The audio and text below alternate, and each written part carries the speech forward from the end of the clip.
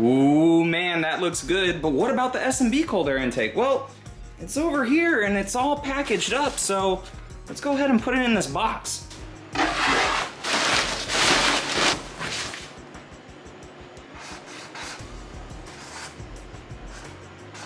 All right, not TRD intake, going to Trail or Sail. Yeah, that's the right guy. Well, let's see how much shipping is, I guess. All right, Florida, Texas, $200? What?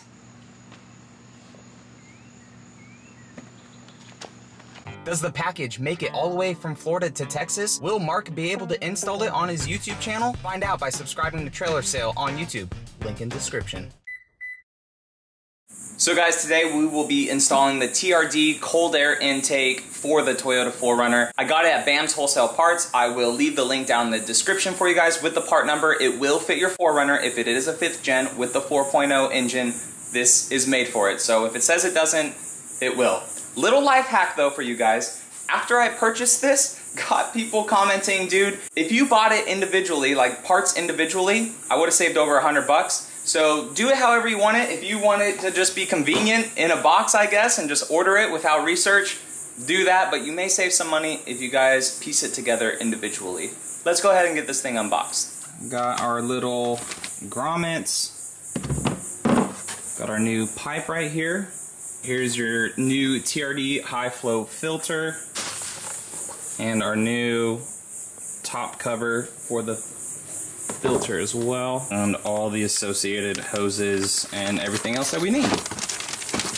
As you can see right here, BAM's Wholesale Parts doesn't say that it fits or wherever you guys get it, 2010 and up FJ Cruisers 4Runners.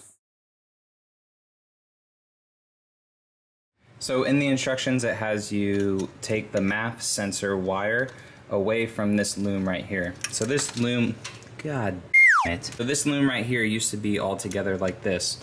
It has this protective uh, hose clamp coating over it with like this uh, electrical tape from the factory. All I did was just take a knife, cut this a little bit, and then just be super, super careful on unrouting this whole loom all the way back. Then they provide you with the new hosing that's supposed to go around this, the thing that just flipped and fell down there.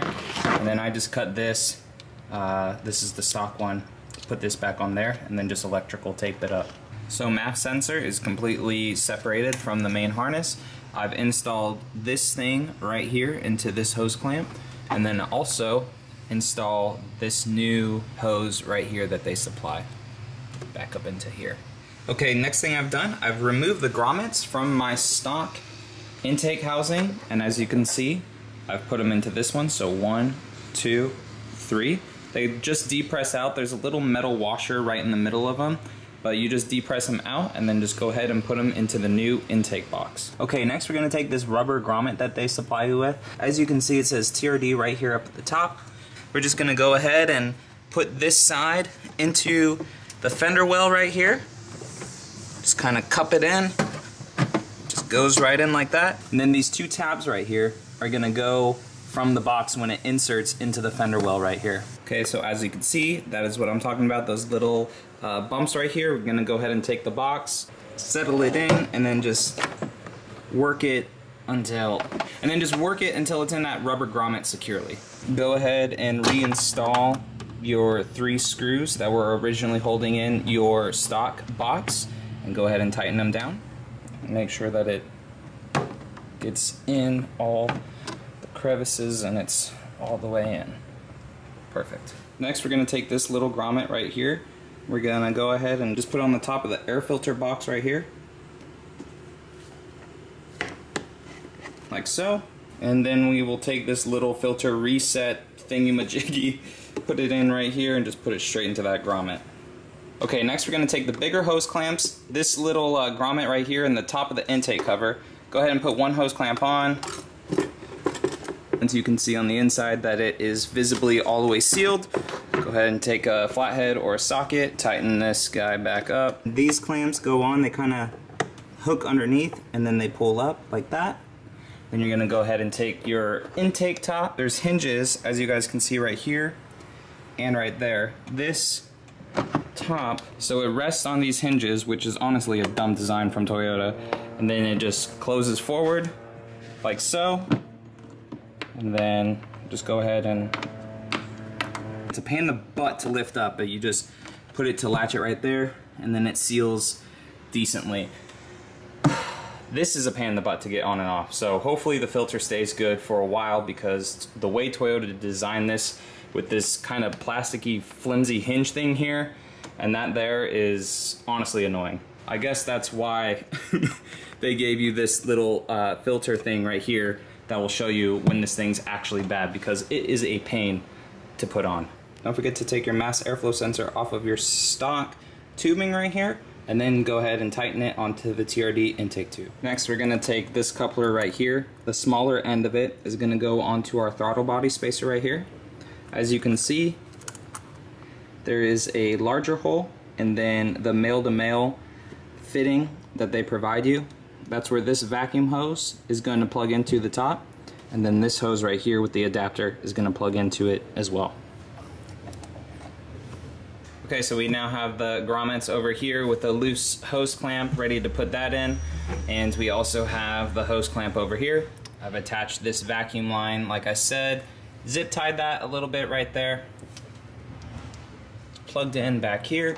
This dude is on. This uh, to put on was a little difficult, guys, but just a little bit of uh, some dry lubricant or just a little bit of spit, you know, it's good to go. Now, the next step is just to finagle this into this area and tighten it down. And we have it in. I had to twist the tube a little bit right here, but you can see we are flush with this and we are also flush up here. The MAF sensor is flat and the TRD is flat as well. So if it's a little kinked for you guys, just go ahead and rotate it.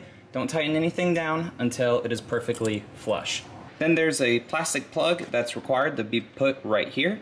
And then the last step, and the reason why you had to disconnect the MAF sensor is because it comes all the way over here, and then under the tube, and plugs right in. So there it is guys, completely installed. Let's go ahead and start this thing up. And just to show you guys some of the wiring, so with the MAF sensor going underneath, you have this wire coming down this way, and it plugged into, it snapped in like this little 90 degree, snapped into the box right here.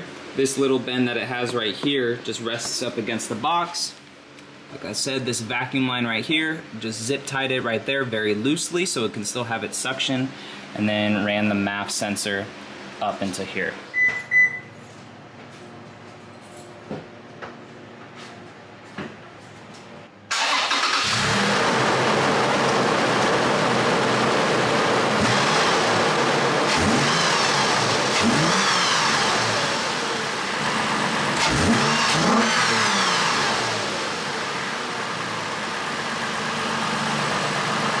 So that's it guys, that's the install for it. Some of the instructions I didn't do because I didn't see them necessary, some of the T zip ties and all that stuff. Also for the passenger side fender, it says to take out your wheel well liner to take out some intake thing. Mine doesn't have that. Uh, it did show an FJ Cruiser in that photo. Getting in the vehicle, no check engine lights, nothing like that. Revved the piss out of it, went all the way up to 5,000 RPMs at the end, and you finally heard the intake growl.